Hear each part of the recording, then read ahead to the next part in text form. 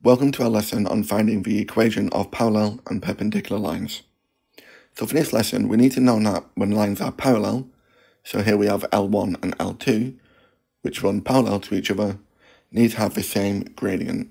So the gradient of L1 is 2, the gradient of L2 is also 2. And the gradient of perpendicular lines, well if L3 crosses L1 at 90 degrees, the gradient of L3 will be negative 1 half and we can use these two facts to work out the equations of parallel and perpendicular lines that intersect another line. So in this question, we have the equation of a line 3x plus 6y plus 11 equals 0, and we've been asked to work out the equation of a line that is parallel to this and passes through 0, 7. So the easiest way to identify the gradient of this line is in the form y equals mx plus c. So we'll take away the 3x and the 11 from both sides, which means these will cancel. So we're left with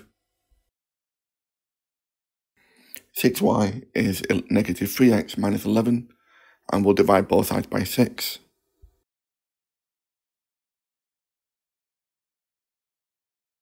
So the equation of a straight line in the form y equals mx plus c tells us that the gradient of this line is negative 1 half.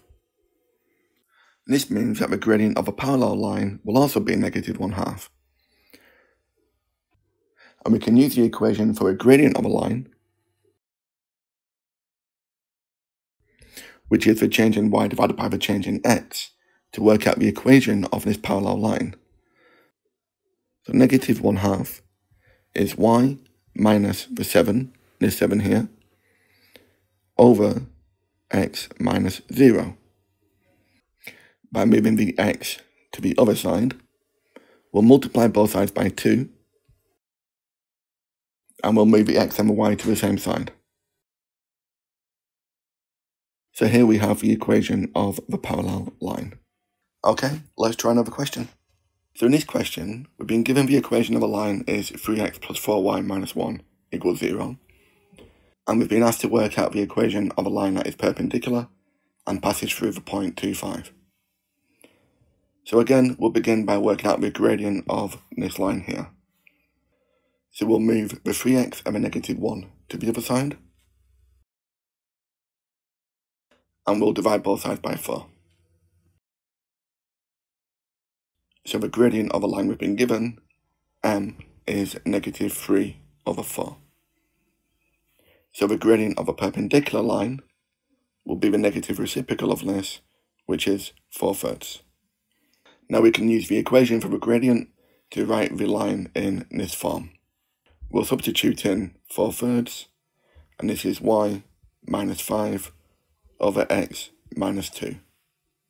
We'll multiply out the 3 and the x minus 2. We'll expand out the brackets. And we'll move all the terms to the left hand side.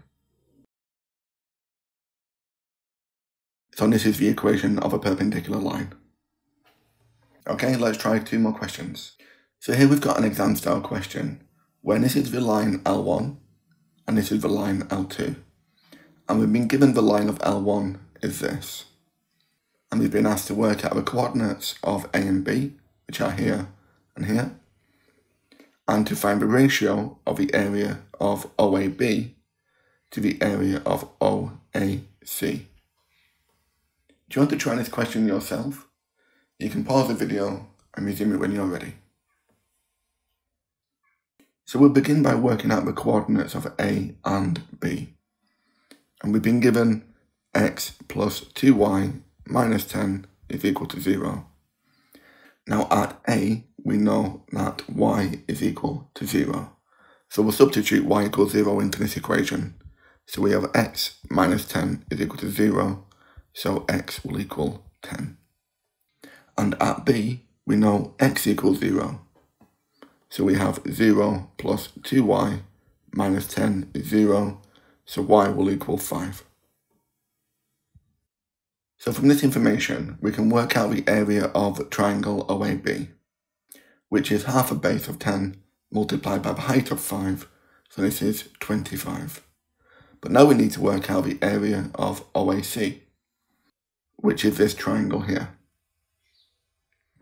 Well, we already know the base is 10, but now we need to know the perpendicular height, which is the y-coordinate at C. To do this, we're going to work out the equation of the line L2, which means we need to find its gradient. And we can work out its gradient using the negative reciprocal of this line. So we'll write it in the form y equals mx plus c.